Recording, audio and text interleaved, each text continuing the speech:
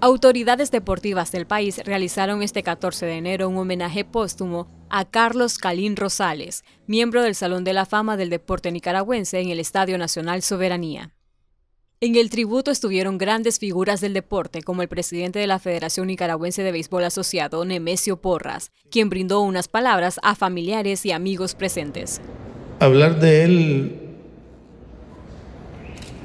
es hablar de un gran pelotero, es hablar de una gran persona, disciplina, que sinceramente en todos los tiempos es raro eso, la disciplina. Siempre queremos inculcarla, pero siempre pasa algo. Y él tenía todo eso. Y pues se va a recordar como un héroe del béisbol, de la selección nacional, un héroe del Boer, Carlín Rosales. El vicealcalde de Managua, Enrique Armas Rosales, relató sobre los grandes méritos que realizó en vida el bateador zurdo, segundo bate de la selección nacional que venció a Cuba hace 50 años en el Mundial de 1972. Uno de los peloteros históricos de nuestro béisbol nacional de los años 60 y 70, eh, fallecido el jueves en nuestro departamento de Managua. Estamos hablando de una de las figuras estelares de la selección de béisbol de Nicaragua en 1972, en el Mundial Nicaragua Amiga. Estamos hablando de, de Calín, que también jugó en el Mundial de 73, aquí mismo en Nicaragua.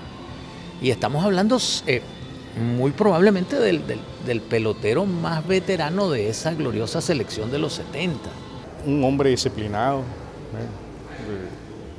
de su carácter de, humildad, muy humilde, donde pasaba, él te saludaba, lo saludaban, muy querido por la población, la verdad, pues, muy querido en el ámbito donde él posteriormente, eh, después del béisbol, pues, que dejó su béisbol, su, oficio, profesión, se dedicó pues a, la reparación y compra de, relojes.